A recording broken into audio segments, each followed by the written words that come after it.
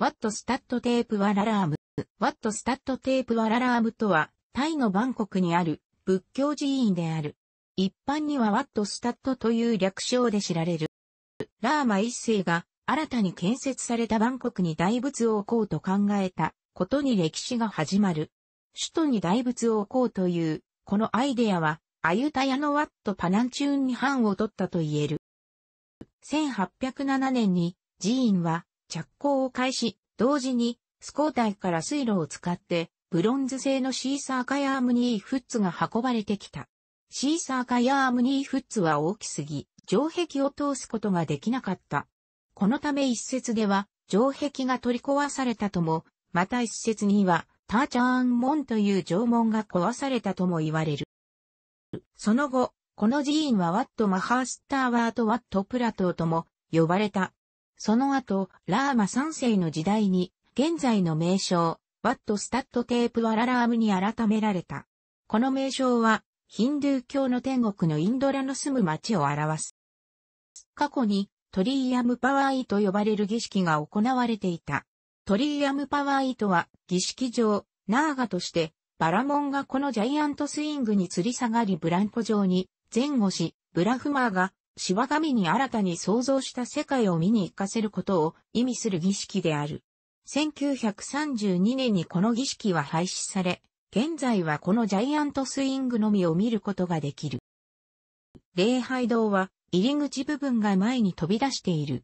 典型的なラッタナ行進様式である。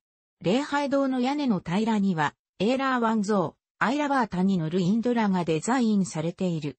これは前述したように、この寺院がインドラの住む町の名を冠していることにちなむ。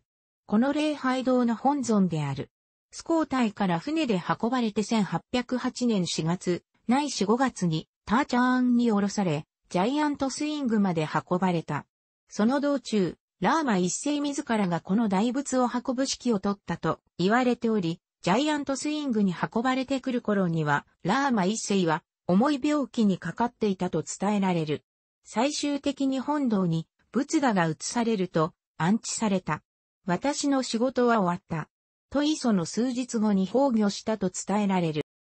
この大仏は王朝年代記によれば1361年、スコータイ王朝、リタ王の知性に鋳造されたとされている。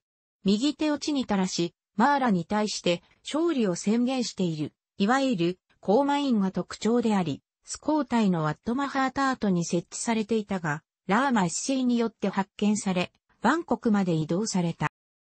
壁画は、ラーマ三世の時代、ジャータカに財を取って書かれたものである。ジャータカに財を取った壁画は、バンコクではここでしか見ることができない。また、山外用に財を取った壁画もある。なおこの壁画は1982年ドイツ政府と大教育省芸術局の手で修復されている。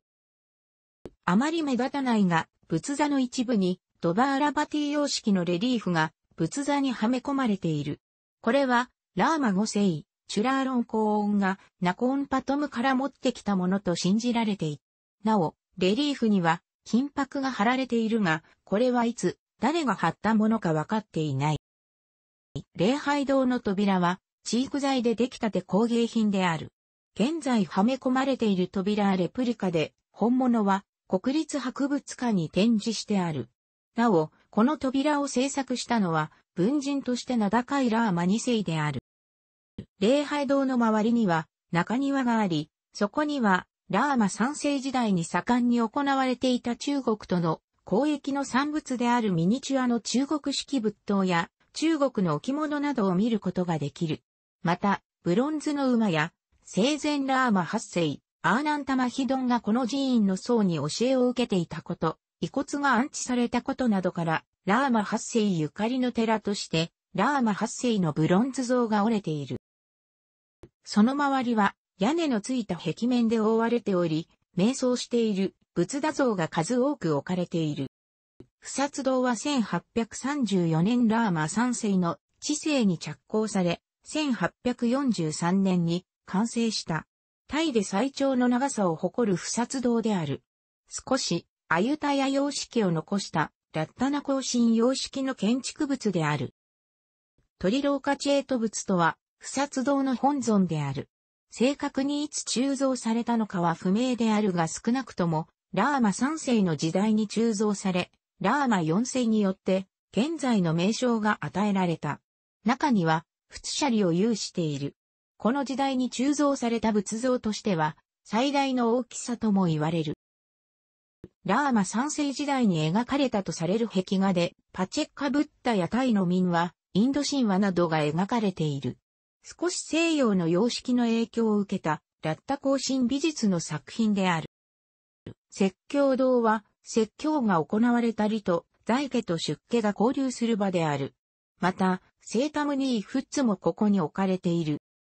1839年に鋳造されその後、15年間王宮に置かれた後、説教堂に移された。ラーマ賛成による大規模なアヘンの取り締まり後、アヘンを入れていた缶を溶かしたもので作られたと言われる。寺院の鐘である。1844年に建設された。説教堂のすぐ隣にある。楽しくご覧になりましたら、購読と良いです。クリックしてください。